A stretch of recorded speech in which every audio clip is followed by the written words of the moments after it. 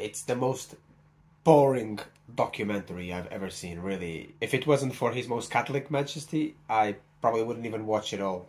Thank you very much to this lovely gentleman who kept me company through this slog.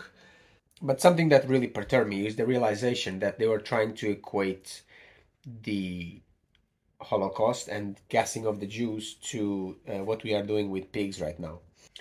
The common word is, of course, the gas, but it's two different gases, right? So the Jews were uh, gassed with some sort of cyanide gas, while what we are using for the pigs is carbon dioxide. CO2 is odorless, painless, and you don't even feel it. In high concentrations, in high enough concentrations, you breathe in, you pass out, you die. And that's it, right?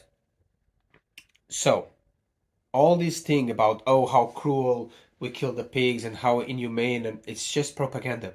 Do not fall for it, guys. Do not let anyone fall for it.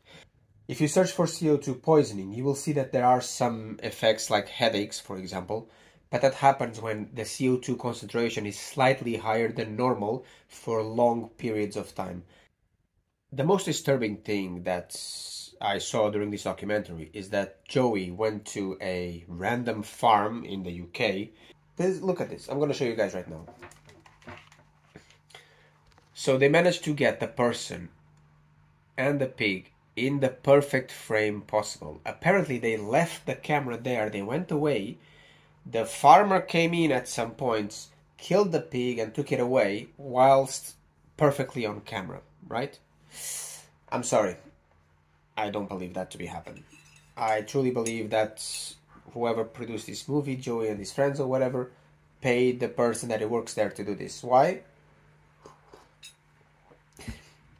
Not only they mention in the video that that's actually illegal and they block the person's face, everything is in perfect frame, and then you can see that the person doing it to the pig is very inexperienced in the act. The person even hurts themselves in the leg while killing the pig. But yes, Pignorant is a complete bullshit documentary. I really think that Joey uh, thought that these pigs were suffering and when they get killed like that, but the reality is there is no better way.